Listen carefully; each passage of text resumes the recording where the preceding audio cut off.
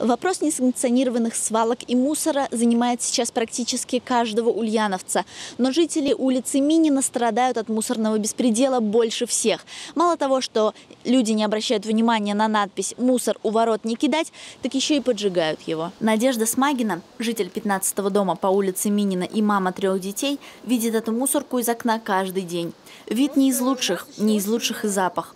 После неоднократных пожаров опасение за здоровье и жизнь только усилилось. Это дым едкий, по 2-3 дня стоит в квартире, так как окна открыты, потому что уже тепло было. И еще очень много бутылок, шифер, который стреляет, который от действия огня просто летит во все стороны. Люди ходят, дети бегают, кругом осколки, кругом это. Дети бегают и все, и это запах, гарь и этим все мы дышим. Первый случай поджога случился месяц назад, 17 апреля. Огнем уничтожен пластиковый мусорный контейнер. На этом поджигатели не остановились, пожары продолжились. Бдительные жители насчитали пять случаев поджога за месяц.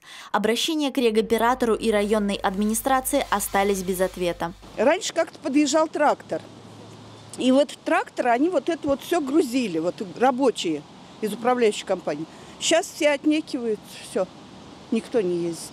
Сделали свалку конкретную. Угу. Я, я 30 лет хожу через эту мусорку.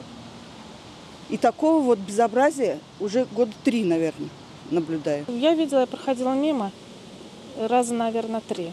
В ночное время гуляла с собакой, прогуливалась. И вот видела. Конечно, печальная история, но поджигают. Пожарные, конечно, хорошо реагируют. Быстро приезжают, тушат, но Никто не может с этим справиться, ни дворник, ни жители. Горело, ящик сгорел, потому что мусор не вывозит. Все с бугром было.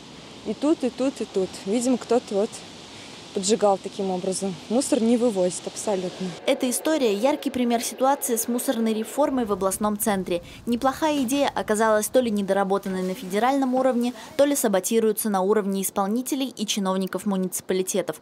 Платим больше, а порядка меньше. Понятно возмущение горожан и достаточно жесткая реакция губернатора.